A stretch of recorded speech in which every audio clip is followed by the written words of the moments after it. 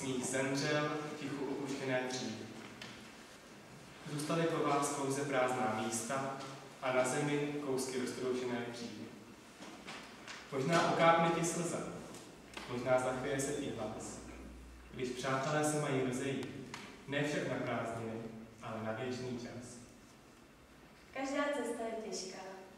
Bolest zloučení zas přestane. Avšak vzpomínka na nejkrásnější chvíle ze školních lavic ti navždy v srdci zůstane.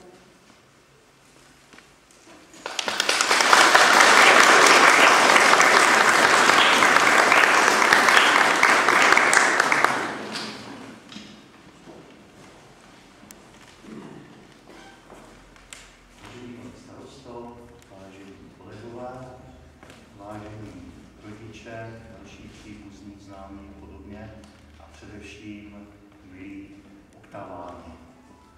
Scházíme se tady v nádherném počasí, v nádherném prostoru a pomůžeme si na začátek takovou kulhající paralelou. Určitě řada z vás sportuje a víte, jak to vypadá po podání sportovního výkonu. Tedy po osmi letech gymnaziálního studia a nakonec také po maturitě. Tam jste dokázali něco. Je za vámi nějaký výkon a složení maturitní zkoušky první vlna euforie.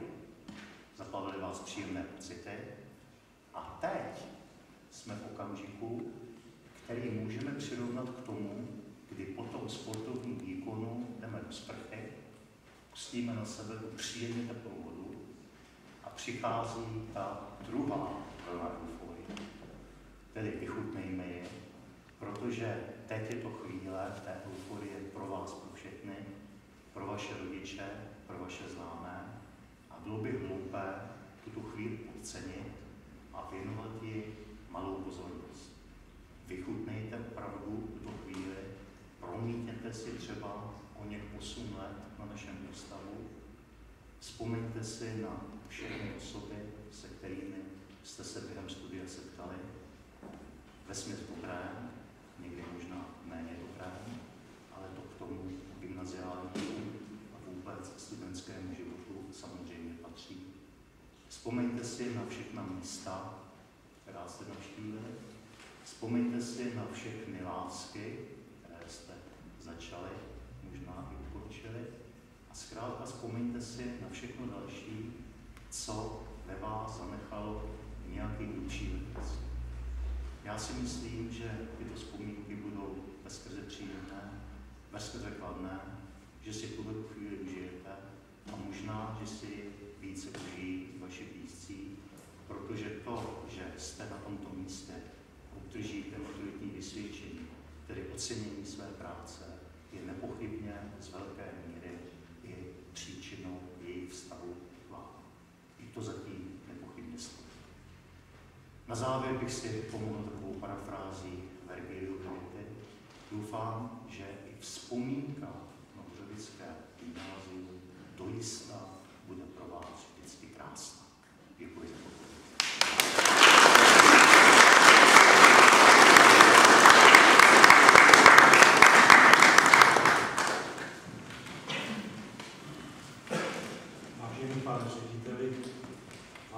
Učitelský pedagogický sbore, vážení rodičové a vážení studenti, mám vždycky radost z toho, když se můžu účastnit této vaší slavnosti, kterou já prožívám jako svědectví toho, že měs, ve městě vzniká inteligence, že město žije a že je tady soustředěná intelektuální síla, která různým způsobem se pak uplatňuje v praktickém životě. Z pravidla se dneska říká, studujte to, co vám ponese prospěch, co vás uživí a pokud možno, co vás uživí nejlépe. To do jisté míry nebo do značné míry platí. Ale pro člověka je u podivu nejpodstatnější to, co ví on sám a čeho může využít pro svůj život prostě nad rámec těch praktických souvislostí. To je, vy jste se v dějepise třeba dozvěděli o podobách náboženství, vy jste se ve historii dozvěděli o historii a vývoji architektury. Nebude vás, třeba nebudete studovat religionistiku, nebudete studovat architekturu a přitom zjistíte, jak pro celý váš život je dobře, že toto všechno víte, že rozumíte tomu symbolům, které tady máme, díváte se do krajiny, něco a zařazujete si to do souvislostí. Berte to jako velikánský dar, který jednak vám dali tyto vynikající pedagogové, jednak vám ty podmínky vytvořili rodiče a jednak jste se o to zasloužili zejména sami. Berte to jako něco, co vás bude provázet celý život a z čeho nakonec zjistíte, že budete mít největší radost, ať se děje, co se děje. Já vám děkuji za pozornost a přeju vám šťastné vykročení.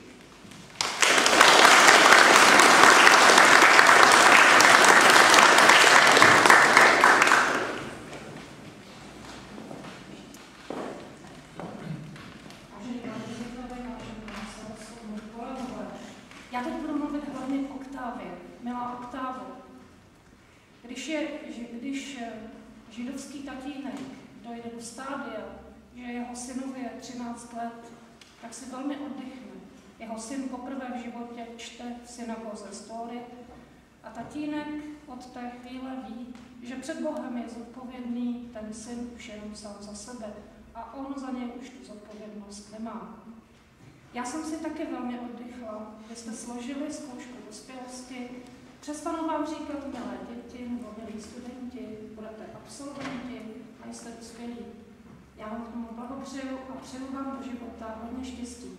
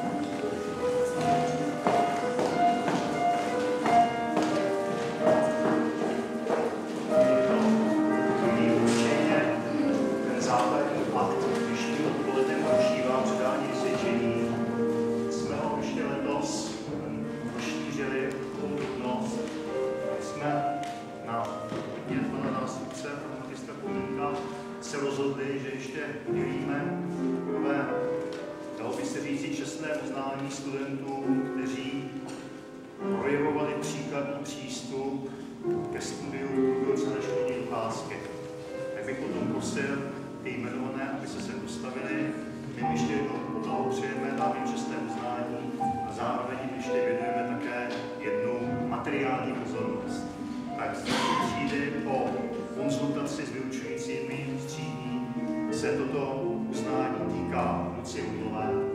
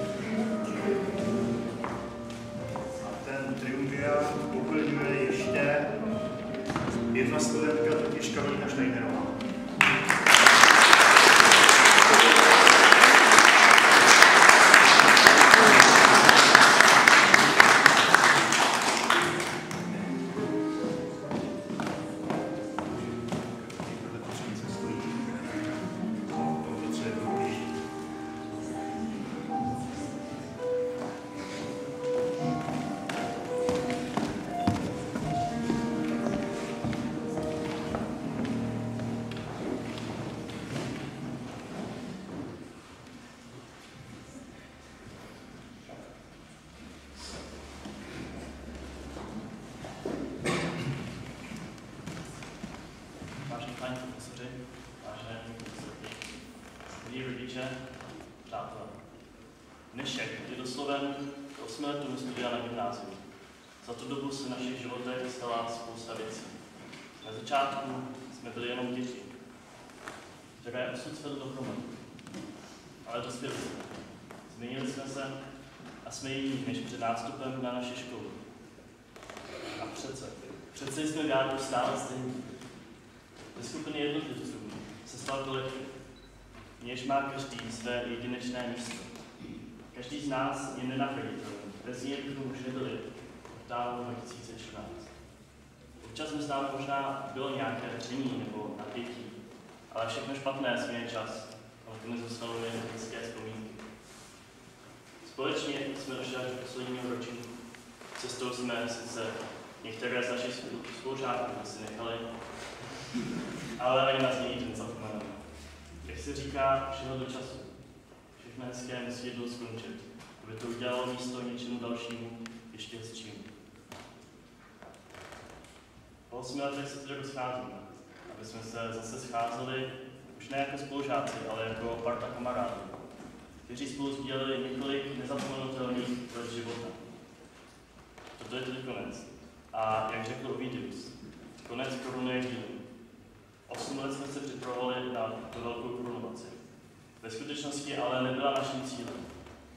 Tím pro nás byla 8 let dlouhá cesta. Již není, není co dodat. Snad jen. Děkujeme.